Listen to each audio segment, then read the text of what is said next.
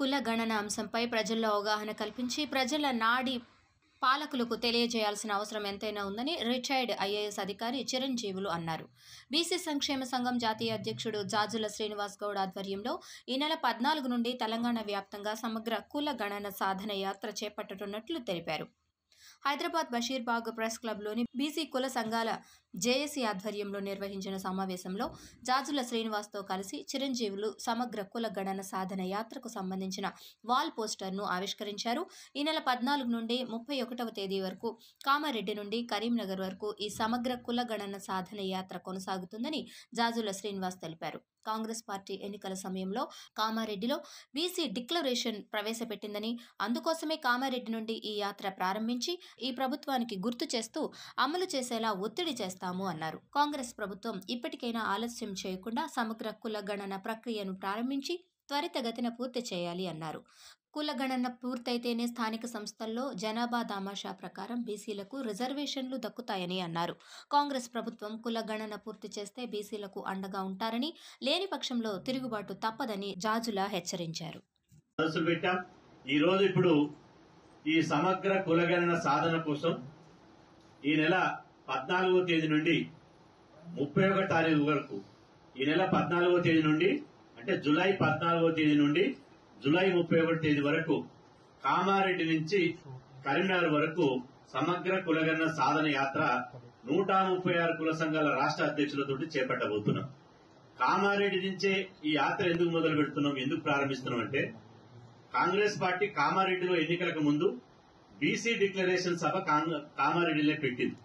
కామారెడ్డిలో BC declaration సభ పెట్టి కర్ణాటక ముఖ్యమంత్రి బీసీ సామాజిక వర్గానికి సంబంధించిన సిద్దరామయ్య గారిని పిలిచి మేము అధికారంలోకి వస్తే ఓ బీసీలకు ఇవి ఇవి చేస్తామని చెప్పి ఒక డిక్లరేషన్ ప్రకటించింది. కాబట్టి ఆ డిక్లరేషన్ కాంగ్రెస్ పార్టీకి గుర్తు చేయడానికి అదేవిధంగా ఆ డిక్లరేషన్ అమలు చేయాల్సినటువంటి బాధ్యతను ఆ పార్టీ మీద ఆ ప్రభుత్వం మీద ఒత్తిడి తీసుకురావడానికే మేము కామారెడ్డి నుంచి ఈ యాత్రను మొదలుపెట్టినాం. రాజకీయ పార్టీలకు అతీతంగా జెండాలకు అతీతంగా ఈ యాత్ర ప్రారంభిస్తున్నాం. కాబట్టి మేము రాష్ట్ర ప్రభుత్వాన్ని ఇప్పటికైనా మేము డిమాండ్ చేస్తున్నాం. మీరు తక్షణమే ఇలా వారాలు నెలలు లెక్కించకుండా మీరు తక్షణమే సమగ్ర కులగణన కోసం జీవో ప్రకారం మీరు ఇలా ఇరవై ఆరు ప్రకారం వెంటనే ప్రారంభించండి. ఇవన్నీ ఆరు నెలలు పట్టది. ఒక్క నెల రోజులో నెల రోజుల్లోనే సమగ్ర కులగణన ఈ రాష్ట్రంలో పూర్తి చేయొచ్చు. బీహార్ రాష్ట్రంలో ఆరు కోట్ల జనాభా ఉన్నటువంటి బీహార్ రాష్ట్రంలో నెల నెల పదిహేను రోజులనే కంప్లీట్ చేయడం జరిగింది కులగణన. మరి ఇక్కడ ఇలా పదిహేను రోజుల నుంచి నెల లోపే ఈ సమగ్ర కులగణన చేపట్టేటువంటి అవకాశం ఉంది కాబట్టి మీరు స్థానిక సంస్థల్లో బీసీ రిజర్వేషన్లు జనాభా దామాష్ ప్రకారం కల్పించాలంటే సమగ్ర కులగణన చేపట్టాలి. గతంలో కులగణన చేపట్టకుండా బీసీ రిజర్వేషన్లు తగ్గించి కేసీఆర్ బీసీల ఉసులు తీసుకున్నాడు. అందుకోసం స్థానిక సంస్థల ఎన్నికల్లో బీసీలు సర్పంచులుగా ఎంపీటీసీలుగా జెడ్పీటీసీలుగా కాకుండా పోయింది. ఇప్పుడు కూడా కాంగ్రెస్ ప్రభుత్వం వస్తే మాకు కనీసం ముఖ్యమంత్రులు మంత్రులను కాలేకపోయినాం. కనీసం సర్పంచులు ఎంపీడీసీలు జెడ్పీసీలు ఎంపీపీలు జిల్లా పరిషత్ చైర్మన్లు అయినా మేము అయితామని చెప్పి గంపెడ ఆశలు పెట్టుకుని బీసీ సమాజం అంతా ఎదురు చూస్తున్నది. కాబట్టి బీసీలను రాజకీయంగా అణిచివేయకుండా బీసీల ఆకాంక్షలను బీసీల మనోభావాలను గౌరవ- గౌరవించి మీరు తక్షణమే ఇలా వేసేజాలకు పట్టింపులవ్వకుండా ఉలగలన ప్రారంభించండి. కులగణన ప్రారంభిస్తే ఈ కాంగ్రెస్ ప్రభుత్వానికి యావత్తు అరవై శాతం జనాభా ఉన్న బీసీ సమాజం అండగా ఉంటుంది.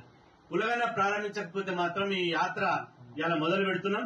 ఈ యాత్ర ద్వారా ఖచ్చితంగా అన్ని జిల్లాల్లో ఈ యాత్ర దాదాపు పద్దెనిమిది రోజులు పద్దెనిమిది రోజులు కొనసాగుతుంది. ఈ పద్దెనిమిది రోజుల్లో ఇలా దాదాపు పది ఉమ్మడి జిల్లాలో ఆ జిల్లాల్లో సభలు సమావేశాలు భారీ బహిరంగ సభలు పెడతాం. కరీంనగర్లో ముగింపు సభలు పెడతాం.